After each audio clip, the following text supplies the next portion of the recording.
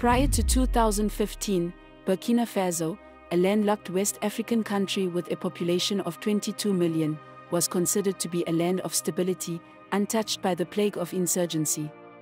In contrast, according to the 2023 Global Terrorism Index report, Burkina Faso has become a focal point of the Sahel crisis, placing second only to Afghanistan and two places above Mali.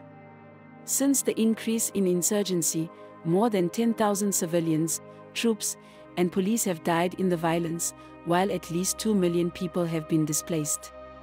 As with any nation that has been plagued with terrorist attacks, the military in Burkina Faso has been involved in counterinsurgency operations against extremist groups that occupy pockets of ungoverned territory since 2015. According to reports, the extremist group has been able to claim 40% of the country's territory. This was the reason for two coups in Burkina Faso within a year. First, in January 2022, Lieutenant Colonel Paul-Henri Damiba ousted deposed President Christian Kaboré and was sworn in as the transitional government's president, and later, in September 2022, Ibrahim Traoré, the world's youngest president, ousted Damiba for failing to make significant progress in the fight against the jihadists. According to reports, the September coup was precipitated by an attack on a 150 truck convoy transporting supplies to Djibo, one of the major cities in the war torn north, on September 26 by Al Qaeda linked jihadists, which resulted in the deaths of 37 people, 27 of whom were troops. The city of 60,000 people had been under siege by terror groups for 18 months. The coup led by Ibrahim Traoré was condemned by the international community, including France, which also had about 400 troops that were supposedly helping the military in Burkina Faso fight the jihadists. The international community did not alone condemn the coup, but countries like the USA went further to sanction the country by reducing aid by $160 million and removing Burkina Faso from a bilateral trade facilitation program.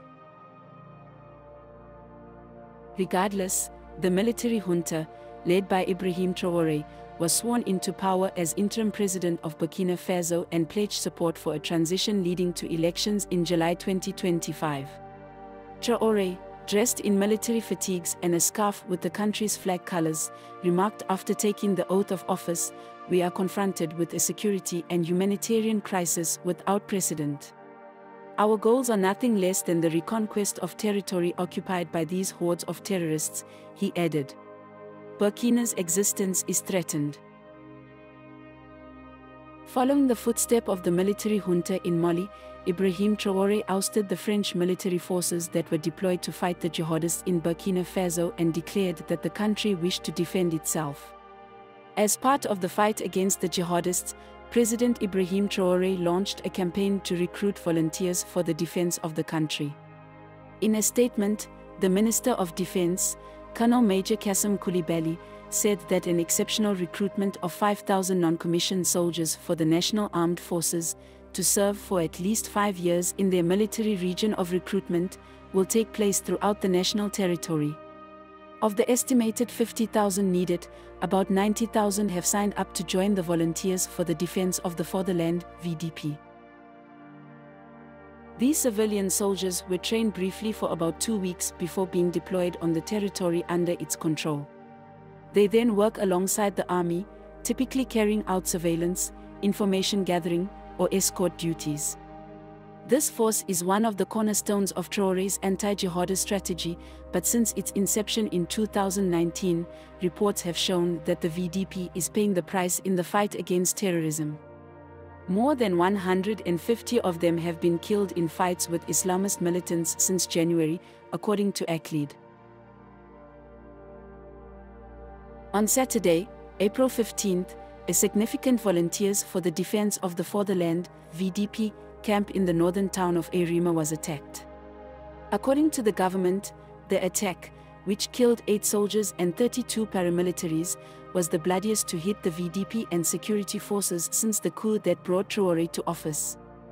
In response to the raid on the VDP camp in Aorema, the government said it sent air reinforcements to destroy a terrorist column that was attempting to exfiltrate. Due to the increased insurgency attacks, most especially against the civilian armies, on April 13, 2023, Ibrahim Traore declared a general mobilization to give the state all necessary means to combat terrorism in the country. According to him, the goal is to create a legal framework for all the actions to be taken against the insurgents. The defense minister, Colonel Major Kassim Coulibaly, said in a statement that faced with this security situation, the health of the nation depends on a surge of national spirit by all its daughters and sons in order to find a solution. Details of the plan were not divulged, but a security source stated it would include a state of emergency for the affected territories. And in confirmation, a statement was released saying that the government had extended the state of emergency that had been in place for eight of the country's 13 regions since the end of March by six months. The government had previously installed a state of emergency in March in areas most affected by jihadist attacks. The bill, which was overwhelmingly approved by the interim parliament on Friday, will be in effect until October 29. According to Justice Minister Babetha Nebi-Ouedraogo, the measure aims to strengthen and consolidate the fight against insecurity, as well as provide security forces with more opportunities and resources. In addition, an advisory was issued, giving the President the right to requisition people, goods, and services, as well as the right to restrict certain civil liberties. Also, as part of their plan to fight against the jihadists, the government in February announced a plan to recruit 5,000 extra soldiers to combat the violent insurgency that has gripped one of the world's poorest countries since 2015. Then in March, the government launched an empty attics operation to reinforce the soldiers' equipment. All military personnel, both active and retired, were ordered to hand over their uniforms to their comrades on the ground. This was done to help outfit army combatants. Colonel Major Celestin Simporé, the Army's new Chief of Staff, announced an acceleration of the offensive in early April. This new operation, dubbed Kapidugu, the Beehive in Mo, and initiated in collaboration with the Malian army, has mobilized around 800 men. While the jihadist attacks are still ongoing, the army of Burkina Faso has noted some success in some of their operations against the jihadists. In June 2023, the army released a statement saying that at least 50 suspected insurgents have been killed in separate incidents in Burkina Faso. They also said they were able to recover a large amount of military material from the deceased. The suspected insurgents were killed in the Noka area in the central province of Sanmatenga. Also on September 1st, the army released a separate statement that said that more than 65 terrorists had been killed in the west of the country between August 7 and September 1. They also added that large quantities of weapons, ammunition, foodstuffs, vehicles, and communications equipment were recovered at the same time from.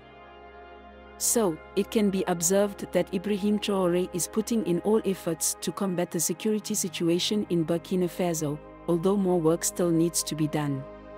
However, only time will tell if he will be able to combat the security crisis successfully. What are your thoughts? Would Ibrahim Traore succeed in the fight against the jihadists? Do leave your comments down below. Don't forget to like, share, and subscribe if you are new to our channel.